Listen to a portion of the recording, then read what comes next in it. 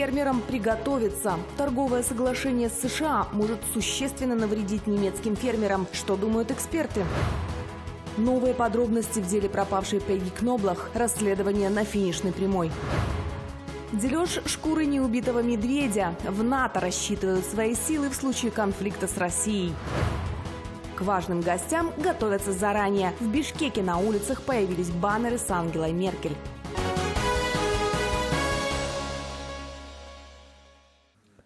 Сельское хозяйство Германии пострадает от соглашения о свободной торговле между Евросоюзом и США.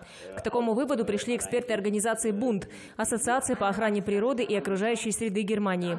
По мнению экологов, если Евросоюз подпишет соглашение, доля сельского хозяйства в экономике ЕС уменьшится, а в экономике США возрастет.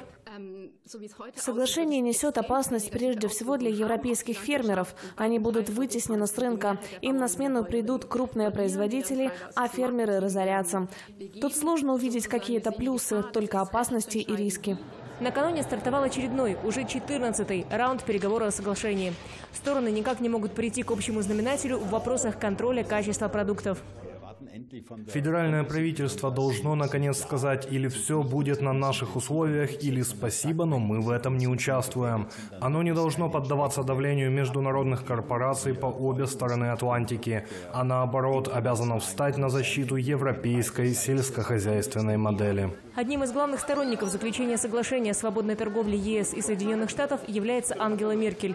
Из-за этого федеральный канцлер не раз становилась объектом резкой критики противников подписания документа.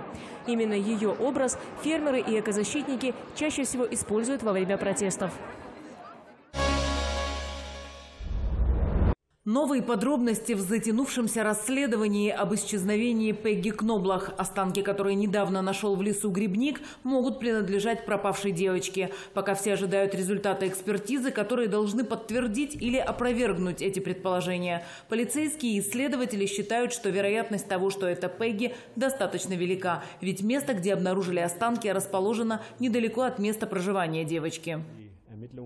Следствие сейчас ожидает подтверждения того, что останки действительно принадлежат пропавшей без вести девочке. Мы надеемся, что в ближайшее время следствие подойдет к финалу и дело, наконец, отправится в суд. Пегги Кноблах пропала без вести 7 мая 2001 года по дороге в школу. После долгих поисков 6 сентября 2001 года был арестован психически нездоровый человек по имени Ульви. После многочисленных допросов без присутствия адвоката он сознался, что убил Пегги. Немногим позже он отказался от своих показаний. Тем не менее, в 2004 году Ульви был обвинен в убийстве девочки и осужден. У правосудия не возникло тогда никаких сомнений в его вине. Позже, в апреле 2013 2013 года адвокат осужденного подал на пересмотр дела. Прокуратура снова начала расследовать пропажу Пегги.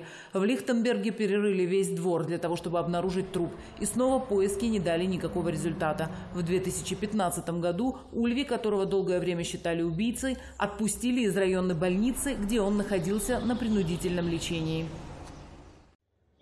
Большинство немцев боятся беженцев-мусульман, потому что связывают их с террористами. Об этом свидетельствует исследование американской некоммерческой организации Pew Research Center. Ее сотрудники опросили граждан 10 крупнейших стран ЕС об их отношении к недавно прибывшим сирийцам и афганцам. 8 из 10 опрошенных сказали, что с начала миграционного кризиса, когда в ЕС за год прибыло 2 миллиона беженцев, угроза террора в их странах очень возросла. В Германии, которая приняла половину всех еврейских европейских беженцев такие настроения разделяют 61% граждан. В Италии таких 60, а в Великобритании 52%. Парадоксально, отмечают исследователи, французы, которые пережили серию терактов в прошлом году, воспринимают мусульман как угрозу в меньшей мере. Там в негативном отношении к беженцам признались 46% опрошенных. А вот в странах, которые приняли непропорционально мало бегущих от войны, к мусульманам относятся с еще большей осторожностью. Людей, исповедующих ислам, ислам угрозой считают 76% венгров и 71% поляков. Спросили социологи о том, считают ли европейцы беженцев бременем для своей страны. С таким утверждением согласились большинство венгров, поляков, греков, итальянцев и французов. В отличие от них немцы и шведы, которые приняли наибольшее число мигрантов, в большинстве беженцев бременем не считают. Германии следует немедленно отозвать военных Бундесфера с турецкой авиабазы Инджерлик. Такое предложение на обсуждение Бундестага внесли депутаты от фракции левых. Представитель фракции Андрей Хунко подчеркнул, что немецких военных следует отозвать с Инджерлика не только из-за последних событий, а еще и потому, что им там вообще не место. Депутат напомнил, что в Германии решение о размещении военных в других странах принимает Бундестаг. Обязательное условие при этом возможность для депутатов посещать солдат на протяжении всего периода их пребывания за границей. Председатель немецкого парламента Норберт Ламерт также заявил, что если Турция не разрешит немецким депутатам посещать военнослужащих Бундесфера на авиабазе Инджерлик, то Германия может отозвать свои вооруженные силы из страны. На заявление парламентариев уже ответила федеральный канцлер Германии Ангела Меркель. Она подтвердила, что члены Бундестага должны иметь возможность посещать немецких военнослужащих за пределами ФРГ и что сейчас идут переговоры с Турцией на эту тему. Напомним, ранее Минобороны ФРГ подтвердила, подтвердила, что Турция отказалась согласовать визит на авиабазу делегации во главе с парламентским статс-секретарем Минобороны Ральфом Браускипе. Она хотела побывать в Инджерлике в начале июля. Сейчас в Турции находится около 200 немецких солдат. Запрет турок на посещение военных ФРГ называют ответной мерой турецкого правительства на принятую Бундестагом резолюцию о геноциде армян. Если предположить противостояние НАТО и России в Прибалтике, то у Альянса практически не будет шансов. Об этом пишет немецкое издание Die Welt. На саммите в Варшаве страны Североатлантического альянса договорились об отправке в Восточную Европу 4000 военных. Какую бы цель ни преследовал этот шаг, сообщает издание, он не способен изменить соотношение военных сил в регионе. В первую очередь из-за численного превосходства российских войск. Кроме того, как пишет Die Welt, Ахиллесова пята НАТО – участок территории между Польшей и Литвой примерно в 100 километров, так называемый Сувалский коридор на границе с Калининградской областью и с Белоруссией. Согласно прогнозам аналитического центра RAND, Россия в случае гипотетического конфликта с легкостью сможет перекрыть Сувальский коридор и лишить Альянс возможности транспортировать технику и снабжение.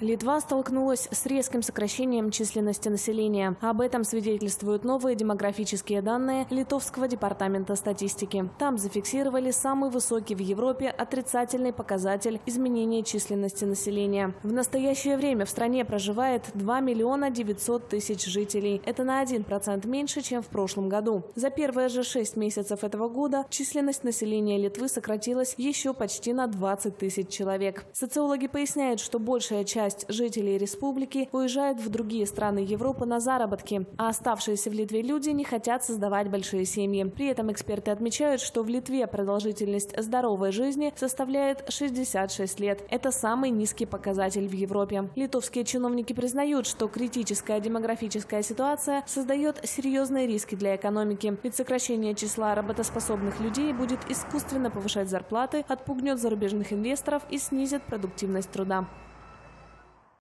Литовские депутаты против белорусской атомной станции. Парламентарии собрали подписи для внесения законопроекта против строящейся в 50 километрах от Вильнюса белорусской АЭС. Напомним, в начале мая появилась информация о якобы произошедшем обрушении строительных конструкций на строящейся БелАЭС. После этого белорусскому послу в Литве вручили ноту протеста. И МИД Литвы потребовал предоставить подробную информацию об инциденте.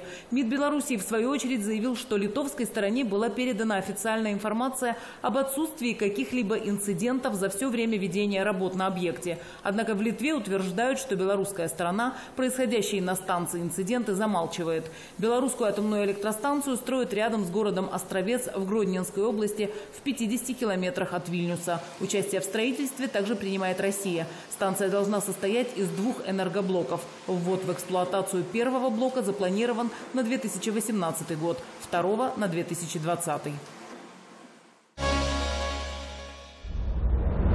Добро пожаловать в Бишкек! Баннеры с изображением канцлера ФРГ Ангелы Меркель появились на центральных улицах Бишкека. Так муниципалитет столицы Киргизии подготовился к визиту Ангелы Меркель. Баннеры на центральных улицах Бишкека вывешены совместно со службой протокола Министерства иностранных дел Киргизии, сообщили в мэрии. Официальный визит Меркель в Бишкек запланирован на 13-14 июля. Она прибывает в страну по приглашению президента Кыргызстана Алмазбека Атамбаева. В рамках визита Меркель и Атамбаев Назарбаев обсудят вопросы сотрудничества между Кыргызстаном и Германией, обменяются мнениями по актуальным вопросам международной и региональной повестки дня. Также Меркель встретится с депутатами кыргызского парламента, представителями неправительственных организаций и общественностью.